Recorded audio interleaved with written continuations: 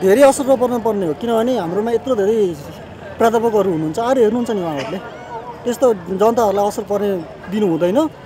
जो हाम्रो हाम्रो एउटा आन्दोलनको पाटोमा थोरै कसैलाई असर त पर्ने नै जान्छ। त्यो वर्षहरूको दीर्घकालीन हुँदैन कि? दीर्घकालीन राम्रो रूपको लागि अलिकति थोरै सफर गर्नमा खासै असर नपर्ने होला। हस्पिटल यो मात्र पनि छैन।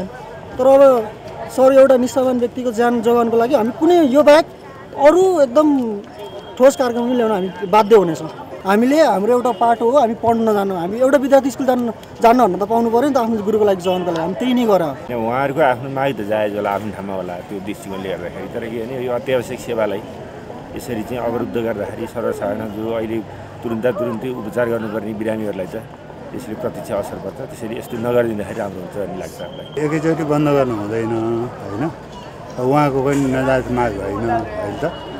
नजायज माग होइन एउटा गरिबको छोराले पनि पढ्नु पाउने असर पाउनु पऱ्यो नि त। सबै बन्द गर्नु त हुँदैन होइन? अब यो सरकारले केही गर्नुपर्छ।